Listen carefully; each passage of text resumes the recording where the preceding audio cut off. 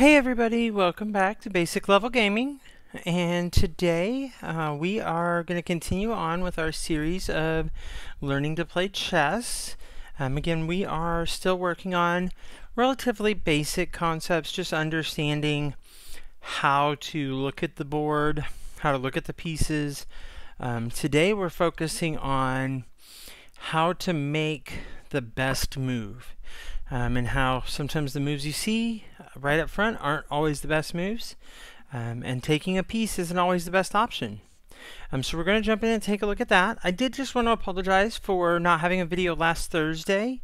Um, when I made my video on Tuesday of last week, I totally spaced that Thursday was Thanksgiving.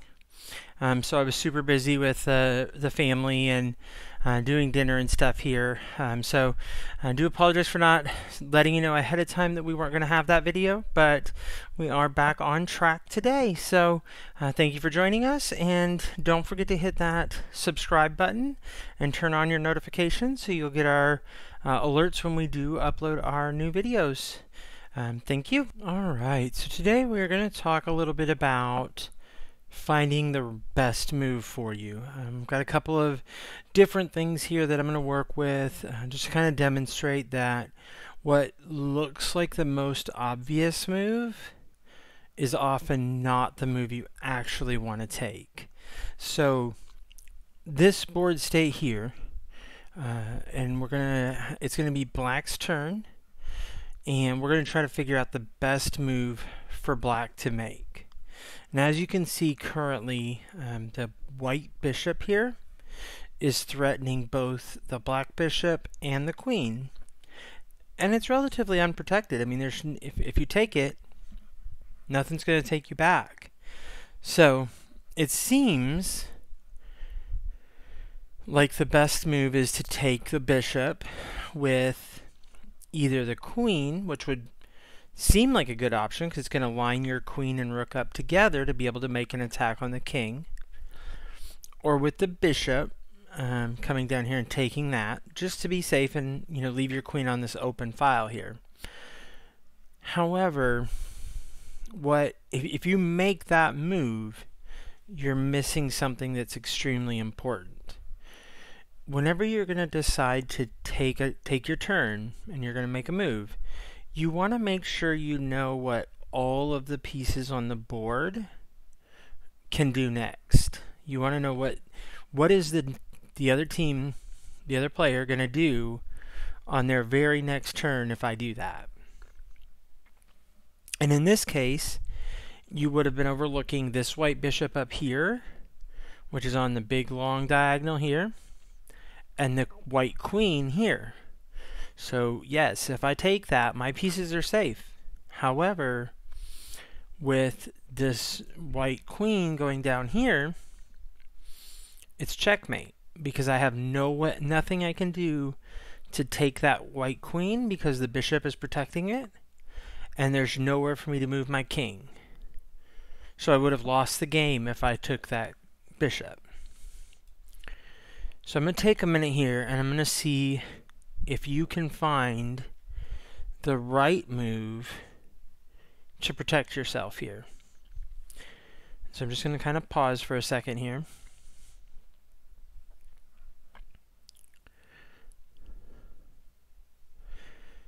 And keep in mind, uh, we've talked about it before, but you cannot put your king in check. So like this pawn here cannot move up there because then the bishop would be attacking the king. So just something to keep in mind there. So for me, the next thing that comes to mind is how can I protect this square right here that's in danger, this one right here, and still take a piece if I can, because you always want to take their pieces if you can, right? So what I would do, and let's see if this is what you came up with, is I would take this pawn and take the bishop. By doing that, you still get the bishop that you wanted, and this square here is protected because the the queen is now protecting it. So if they move this queen down here, you just take their queen. So you've managed to take the bishop still and protect yourself. And that's what you always want to keep an eye on is what are they going to do next? So um, let's take a look at another one here. So this one here, we've got a couple of things going on. Um, we've got the queen up here. This queen is attacking the bishop. And as of right now, if you look at it, the bishop is completely unprotected. There's nothing that could take that queen back. You've also got this knight here. It's attacking your knight. Um, now that one, we do have this pawn right here that could take it back. So it is protected, but it would still be a loss of a knight, which is not something I really want to have happen if I can help it. So let's see what would be best from here then. So what do we have that we're currently attacking? Um, we're attacking this bishop is attacking the pawn. It's also attacking this pawn. If we take this pawn, there's two different pieces that could take us back. So that's probably not something we want to do, not to mention that we leave that path for the white queen to take our other bishop if it wanted to. So I don't think that's the way we want to go. Um, we also could just take the knight, but by doing that, not only is your knight still in danger because of the bishop up there on the left corner, but also the queen can still just take our bishop like it was going to before. So that doesn't really help. So do you see anything that you feel like would make a better move and either capture a piece or put us in a position of being protected or anything like that?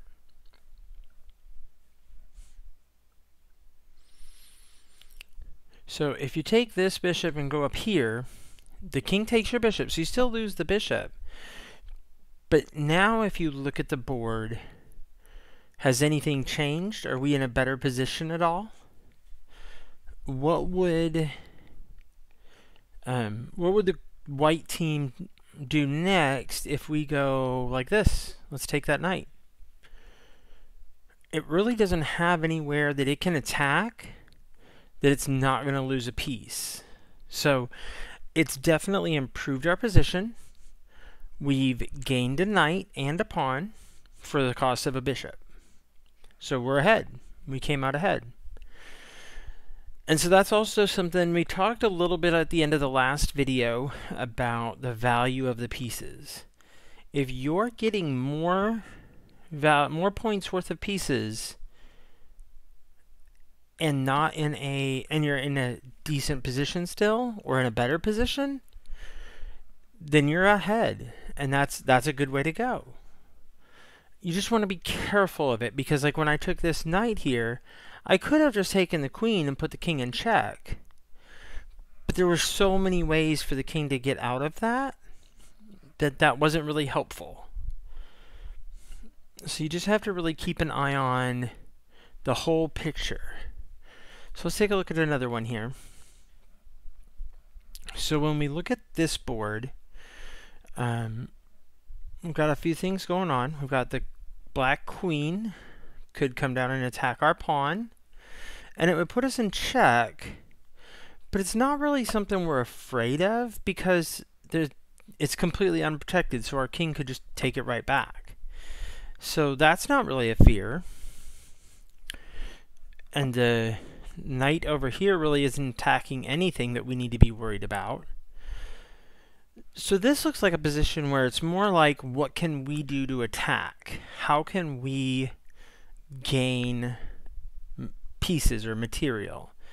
Uh, or win the game, if that's possible as well. So do you see a move here that could force black to give us a piece? They'd have no other choice. Just giving you a moment to look at the board here.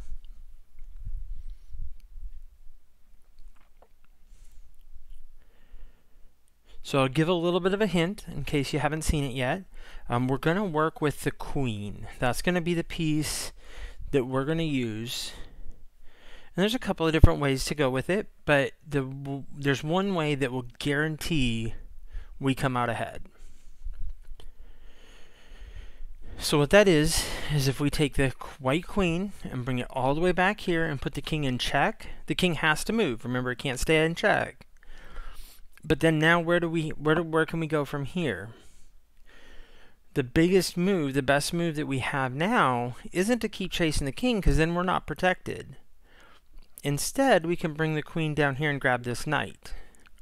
And we're, we're making the game that much harder for black because now we still have a queen and a knight and black only has a queen and they've got a couple of pawns but their pawn setup too and we'll talk a little bit more about pawns um, probably next next video because we're going to talk about openings on the next video as well but their pawns are lined up together here and here so we have a lot more leverage to go with our pawns because they're spread out over five different spots.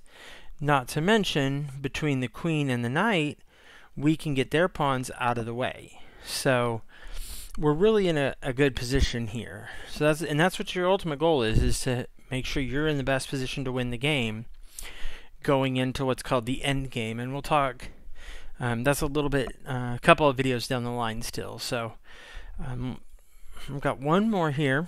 So let's look at this one. This one is, and, and we're playing black. We're always going to be the one on the bottom for now while we're working on things. So we've got a couple of things to pay attention to. Um, first of all, we can take their bishop, wipe that out. Um, with either, we've got both our bishop that could do it, our knight that could do it, and actually our pawn could do it as well. So that's one option. We also could take the knight with the pawn. That's another option. And then really, I'm just kind of looking to see if I see any other... I don't see any other ways we can attack. So those are our options as far as attack goes. Now, what do we need to watch out for defensively? So we've got the knight can go down here and take our pawn as an option. It could go right here as well. Neither one of those ultimately from the knight itself causes any threat. So that's not really a concern because if it goes here we could just take it. If it goes here we take it. If it goes here it's it's not hurting us in any way. I mean it's attacking our rook a little bit but the bigger concern is this queen up here. Because if this queen comes down here and checks the king, the king can't take the queen because that knight is protecting it. And the king can't move into the open square because the queen's protecting that. So it would be the end of the game. So that's the big thing that we need to make sure cannot happen. So if we want to make sure that the queen cannot come down here and be protected by the knight, how's the best way to do that? And we already talked about it as a possible move. And what that is, is if we use this knight, or this pawn, to take the knight, it does help. It guarantees that as an option. It guarantees that it cannot checkmate me there. However, as you can see, when the bishop moves down here, now we've got our rook in danger, and we don't want that, you know. So it's not the best move. It does stop checkmate, though, so it does keep us from instantly losing the game. What else can we do? Do you see another option that would accomplish the same task? taking the bishop wouldn't help us because there's still no way for us to stop checkmate. Another option that we could do is we could move this pawn up here, right? That that would stop the queen from coming through. And if the queen takes the pawn, then the other pawn just takes it. So it does stop it. Still not our best move though. We still have one more thing that would make more sense and still save everything. And that is this knight can come over and take the bishop. And you're like, well, the knight and queen still have everything they need. But the problem is, if the queen comes down here now, this knight can just jump over here and take her. So she can't come down and stop you. So that's the other thing you want to take a look at is not only what's the best piece to take, but what square do you need to protect the most. And it's important to move the to make the moves that you have to make more often than or as a higher priority than the moves you want to make. It's fun to jump out there and attack the king or attack the queen, but if you're just always paying attention to those attack moves, you're not protecting yourself. And that's something that you really need to pay attention to in order to give yourself the best chance at winning the game. And you can get lucky. You can go out there and you can play super aggressive and attack, and there are lots of players that play that way. And you can win lots of games. But you're also going to lose a lot of games. And you're going to lose games that you could have won. You have to figure out how to play that balance. So I'm going to look at one last here board before we go. And the, the reason I want to look at this board is that we're in kind of a weird position as black here. If you look at where we're at, we're super crowded. Like almost all of our pieces are on the left side of the board. We've just got a couple of pawns here on the right and they're bunched up anyway, so that doesn't that's not super helpful. So what we have to do is figure out how can we spread out our pieces so they're more active and still attack because we need to get some more pieces off of their side of the board. They've got two knights on us and we've got our bishops, but the knights have so much flexibility that they're dangerous. So one of the obvious ways we could attack the knight, the first knight, is if we move the bishop right up here. The problem with that is, even if we take the knight, we're going to lose our bishop. At this point in the game, we don't want to trade if we don't have to. We need to keep our pieces. We don't have a lot of them. So, what else could we do that's going to help make things look better? So, another option that we could do, and it seems small, but we can move this pawn right up here. And what that does is even if the pawn takes our pawn, the bishop can come up and take that pawn, and it makes it so that they're doubled up if they do keep both pawns, and we're really still in that position. We're not we're not sacrificing a whole lot. And if they don't take the pawn, which I mean they, they normally would, but if they don't, then we just take their pawn and keep moving up the board, or they take us back there, but we still un unbunch our pawns. So sometimes your goal isn't even to capture a big piece. It's just about improving your situation. So that's really what I wanted to talk about today is how to make those decisions on making the right move and looking to see what's next. Because you can play just this move, no matter what. Uh, I'm looking at what this move is, what's the best move this time. But if you're not looking at those moves that are coming up, you're doing yourself a, a disservice and you're putting yourself in a bad situation. So, just something to keep in mind. Um, so, definitely thank you for watching. And uh, hopefully, you will tune in on Thursday and we will do a video. We're going to start looking at openings and how to start the game. And if we have time towards the end, just because a lot of openings is like putting the pawns in the right positions too, um, especially the first move or two. if we have time, we're going to talk a little bit about pawns and doubling up pawns and how to keep from doing that because you lose a lot of utility if your pawns are bunched up together. So that's what we'll look at next time.